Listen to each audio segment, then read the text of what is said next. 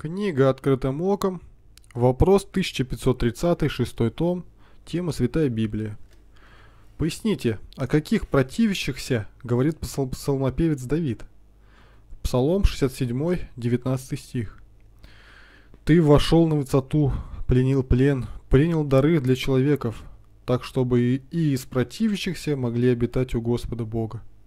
Что означает «пленил плен» и какие дары и для каких человеков? Отвечает Игнатий Тихонович, Тихонович Лапин. Противящихся все, кто не принял Бога Отца, а затем и Христа в Его откровении. Это и отступники, и охладевшие, и затем ставшие врагами, противниками, слугами сатаны. Титу, 3 глава, 3 по 7 стих.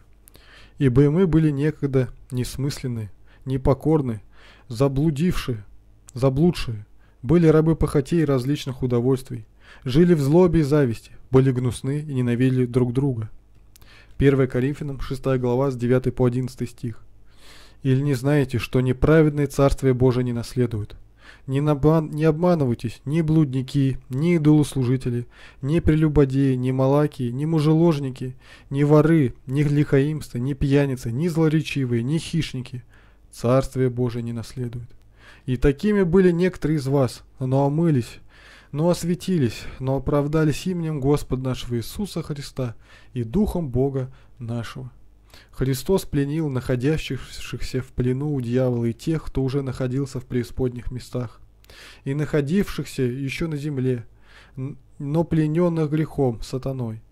Уверовавшие получают с неба Духа Святого Утешителя и руководителя дара благодати и искупления. Деяние 2 глава 33 по 38 стих. Итак, он бых вознесен десницу Божию, и приняв от Отца обетование Святого Духа, излил то, что вы ныне видите и слышите. Ибо Давид не вошел на небеса, но сам говорит, сказал Господь Господу моему, сиди и одесную меня, доколе полножу врагов твоих подножие ног твоих. Итак, твердо знай, весь дом Израилев, что Бог соделал Господом и Христом всего Иисуса, которого вы распяли.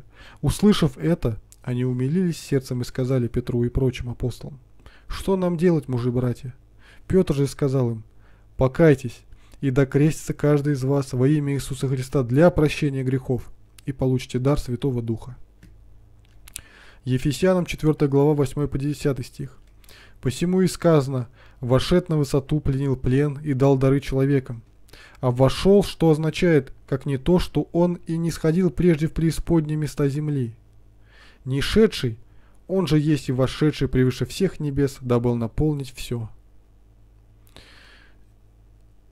Евангелие от Иоанна, 14 глава, 16 стих. «И я умолю Отца, и даст вам другого утешителя, да пребудет с вами вовек». Дары сии, дары веры в искупление в крови Христовой. Дар исповедничества и благовестия дается только верующим, примиренным с Богом Отцом через жертву Сына Его Единородного. Не потому ли так бездарно сегодня в церкви, что нет усыновления через искреннюю веру, через личное, сознательное принятие Христа, и потому так монотонно, скучно прозябание в церковной среде и такие бесталанные архиереи и священники, что они, не примирившись с Христом, как гласит Евангелие, не получают и дара ликования во Христе, победоносности шествия со Спасителем своим и пастырем душ.